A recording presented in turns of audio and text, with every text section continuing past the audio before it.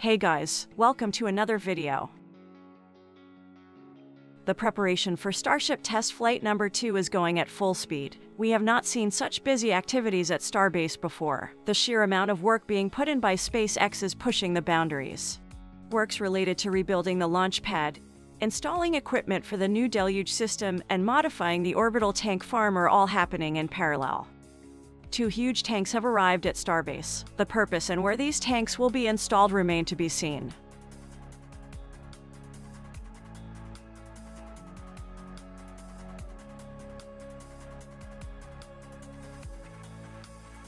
Meanwhile, the road closure schedule for both June 12th and 13 has been revoked. Back at the production site, the Star Factory expansion continues. SpaceX is actively stacking new Starship and Super Heavy boosters inside the High Bay and Mega Bay. On Thursday, June 8th, SpaceX was awarded six additional launch contracts by the Space Force to launch its national security missions. These launches will take place in 2025.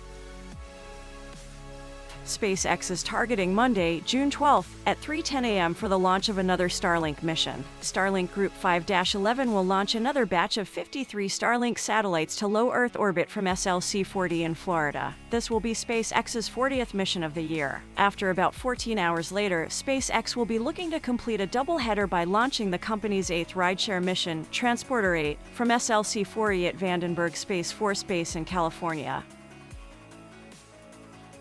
Stoke Space, an American launch company that aims to build fully reusable rockets, says its Hopper SN1 test article has been scrapped and they will move on to Hopper SN2. The company says it has collected important data from SN1 from prop conditioning to operational procedures and terminal count. A few issues were found during testing, and the company decided to scrap SN1 and move on to preparing SN2 for its first HOP test. We don't know what happened to the test vehicle, but I hope Stoke Space has learned a lot and is moving forward with important data.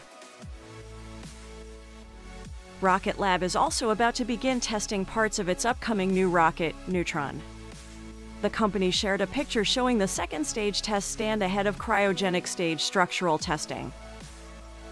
2023 has been an innovative year for the space industry, with companies testing and developing new rockets.